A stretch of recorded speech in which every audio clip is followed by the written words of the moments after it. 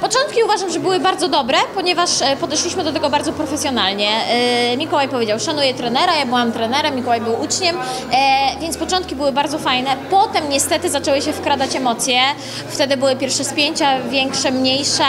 Ta nadrzędna relacja na, parkie, na sali zaczęła się troszeczkę zrównywać. Za dużo przenosiliśmy takich naszych domowych rzeczy na, Na na parkiet i to się zaczęło rozmywać. I, I ta relacja nadrzędności trenera i zawodnika, w moim wypadku ja tak zawsze nazywam, e, no po prostu się zacierała i wystąpił zgrzyt. zgrzyt, kłótnie, jednak uważamy, że taka, bo to była ostra kłótnia, była potrzebna, ponieważ dopiero po tym kopniaku e, przegadaliśmy dosłownie dwa dni, ustaliliśmy funkcjonowanie i jest nam o wiele lepiej.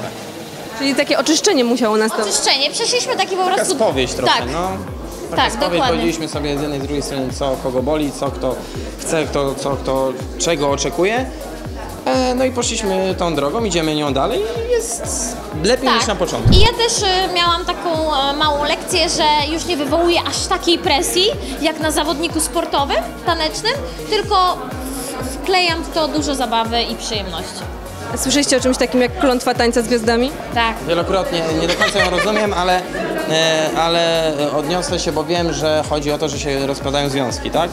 E, No słyszałem, ale no nie wszyscy, nie wszyscy muszą być trzeci na jedną miarę. Ale też się tworzą związki. Tworzą się, a wy możecie być na przykład wyjątkiem potwierdzającym regułę.